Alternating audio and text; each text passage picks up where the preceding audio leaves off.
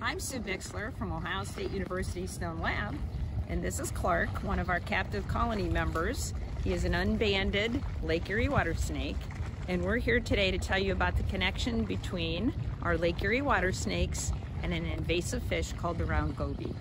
This is a goby. Gobies were unintentionally released into Lake Erie water via ballast water, Great Lakes freighters coming in from the Caspian Sea bringing their load to the Great Lakes.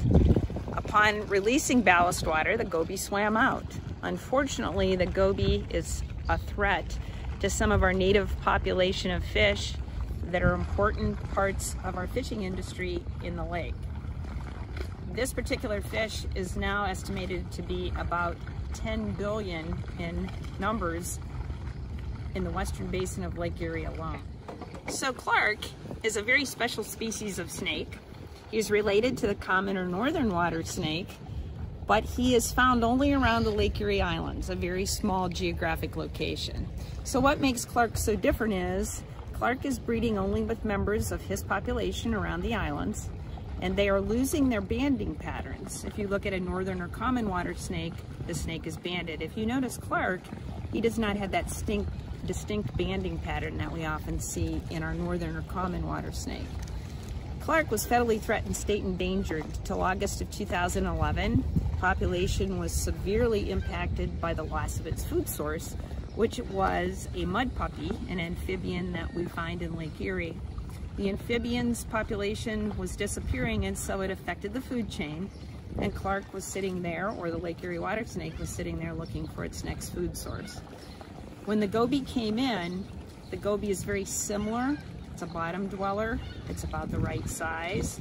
It doesn't have a spiny dorsal fin. And so what we found is our Lake Erie water snakes really enjoy eating the goby. And due to that, the population reestablished itself as of August of 2011, and these little guys were the, only the 23rd species ever to be delisted. They are considered still threatened. We don't want to hurt them or harm them. Population studies are done each year through something called a Nerodio, which is a play on their genus species name. What makes us unique is invasive species very often or most often compete and they're harmful to the Great Lakes ecosystem. In the case of Clark, it actually helped us reestablish the population. Will he eat 10 billion round goby in the Western Basin? No, he will not.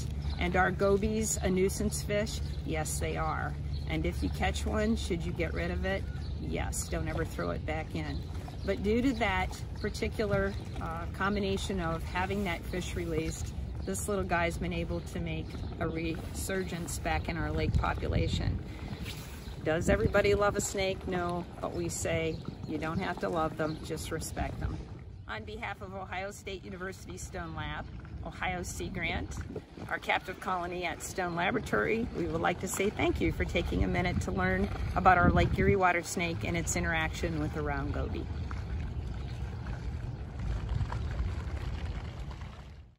We hope that you enjoy this environmental education video series on water. This was created by a collaborative effort including Bendix, Lorain County Commissioners, 4-H STEM, Black River Watershed, Local Yaks, Lorain County Farm Bureau, Lorain County Metro Parks, Lorain Soil and Water Conservation District, Ohio Sea Grant, Ohio Department of Natural Resources, local FFA chapters, the Ohio State University Extension, and Lorain County 4-H.